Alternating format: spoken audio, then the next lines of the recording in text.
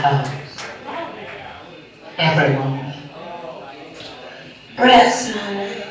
They're called breasts, and everyone has them.